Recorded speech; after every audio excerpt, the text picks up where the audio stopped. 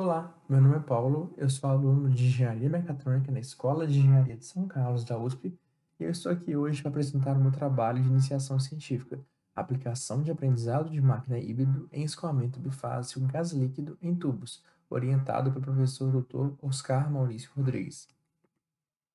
Esse trabalho foi desenvolvido no Laboratório de Escoamentos Multifásicos Industriais da USP de São Carlos, o LEMI, que possui diversos campos de estudo relacionados a escoamentos multifásicos, como, por exemplo, padrão de escoamento, gradiente de pressão, fração volumétrica, ou seja, RUDAP, dentre vários outros. Há diversos benefícios de se conhecer tais parâmetros, como segurança, sustentabilidade, economia e eficiência. Um exemplo disso, no caso da segurança, é na prevenção de acidentes que poderiam causar catástrofes ambientais, como, por exemplo, o desastre de Deepwater Horizon em 2010, que teve consequências avassaladoras para a natureza. O LEMI possui diversas frentes de pesquisa, como modelos fenomenológicos, modelos de machine learning, coleta de pontos para bancos de dados e algoritmos de machine learning híbrido.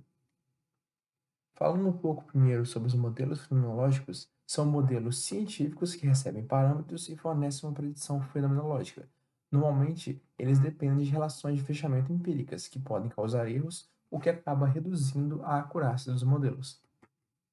Já os modelos de machine learning tradicionais são modelos data-driven, ou seja, dependem de dados, para receber parâmetros e fornecer uma predição. Normalmente, eles são treinados com exemplos que têm respostas, chamados de labels.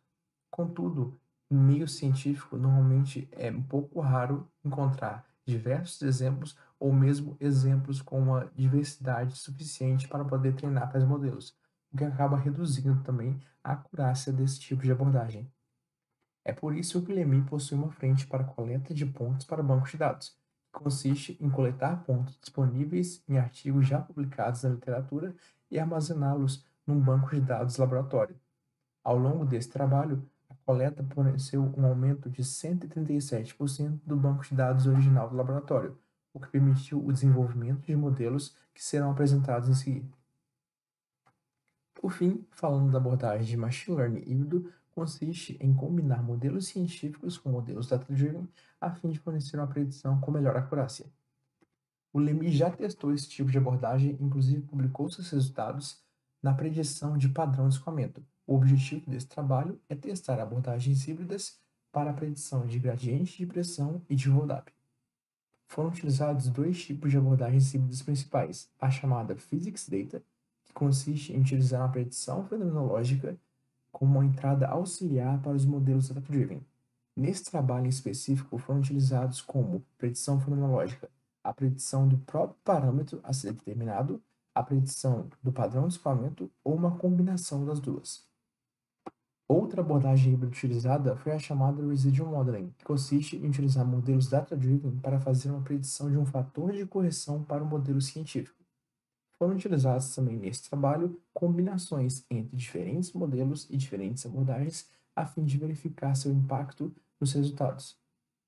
A seguir há uma tabela com as métricas R2 que são utilizadas para avaliar modelos para o gradiente de pressão. Eu chamo a atenção principalmente para os valores em negrito, que representa as combinações entre modelos, mantendo a abordagem fixa na direita, e embaixo a combinação de abordagens mantendo o modelo fixo. Há também os resultados para o hold-up, com a mesma organização. Esses resultados estão disponíveis no relatório submetido para uma análise mais minuciosa. Como conclusão, é possível notar uma melhoria no desempenho utilizando modelos híbridos, especialmente ao adotar combinações de modelos e abordagens.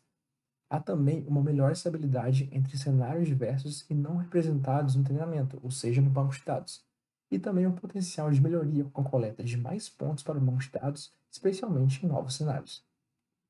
Gostaria de agradecer a todos que colaboraram com o desenvolvimento desse projeto. Aqui estão os créditos das imagens e muito obrigado a todos.